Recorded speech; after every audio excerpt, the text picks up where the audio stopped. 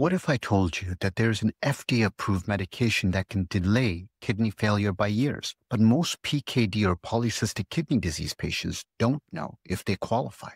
Game changer. Tolvaptan is the first and only FDA approved medication that targets the root cause of polycystic kidney. On this data, tolvaptan doesn't stop the progression of polycystic kidney disease, but it can slow it down and delay kidney failure significantly. This isn't a one size fits all medication. Some people tolerate it well and see it as a small price for years of preserved kidney function. Others, though, they find the side effects just too disruptive and they can't tolerate it. But, but the key message is this. If you're approaching kidney failure, start the transplant evaluation early. Getting on the list sooner gives you more options and better outcomes. For the future of polycystic kidney disease treatment,